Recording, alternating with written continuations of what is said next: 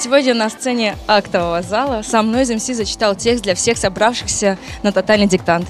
Привет, мне кажется, каждый ученик или школьник, так назвать, мечтал о таком учителе.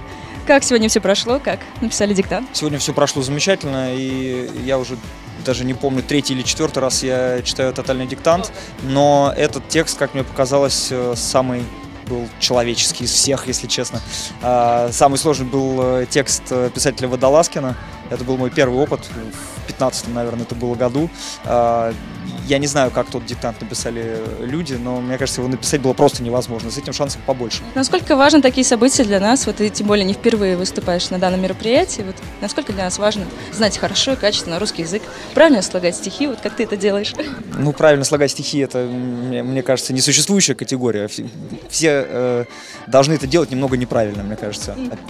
А вот э, писать грамотно, это, мне кажется, никому не помешает. Э, и замечательно, что подобные мероприятия собирают так много людей. Попробуй еще затащи такое количество человек, заставив писать диктант какой-то.